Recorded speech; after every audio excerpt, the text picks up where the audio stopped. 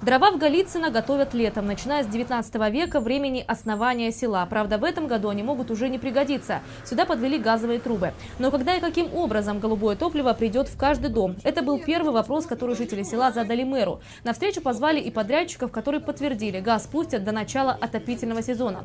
По распоряжению Анатолия Пахомова заявление на выдачу технических условий жителям Голицына помогут бесплатно написать специалисты. Для этого они приедут в село.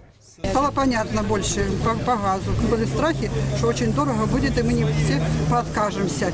А теперь реально вот все понятно стало. Мы все с удовольствием приедут, нам дадут, бумажки дадут, фирму нам подадут, и мы все сделаем. Порядки мы дома наведем. Насчет порядка во дворах речь зашла не случайно. Сделать их опрятными – условия своеобразного социального договора между властью и жителями Сочи. Ваша задача – мы сделаем газ, мы сделаем дороги, а вот во дворах фасад, заборчик, это надо сделать. Вы посмотрите, когда едешь, я еще раз говорю, э, газ для чего делается? Газ делается для того, чтобы облегчить э, быт. Да, и газ делается для того, чтобы Впоследствии вы занялись сельским хозяйством, теплицами. Развитию подсобного хозяйства будем помогать, говорит глава Сочи. И в Голицыно, и в других селах планируют возродить заготовительные конторы, которые будут закупать у жителей села овощи и фрукты. Некогда эта контора располагалась в центре, на улице Батайской, напротив школы.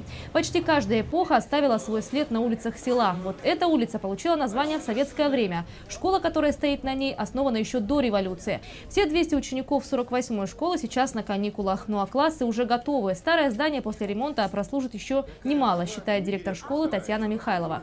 Крышу заменили, пол укрепили. Во дворе школы современная спортивная площадка, работает теплица. Когда есть хозяин, все идет впрок. Вот вам школа, которая, правда, зайти можно. Хоть он маленькие классы, понятно, что наполняемость небольшая. Но здесь есть все и кондиционер где это нужно, и оборудование. Благоустройство идет и в соседнем лесном. Сюда также проводят газ. Обсуждается и возможность пуска дополнительной маршрутки. Тем более, что руководители организации, которая проводит голубое топливо, пообещали, дороги по окончанию работ они восстановят. Ольга Десятого, телекомпания «ФКТ».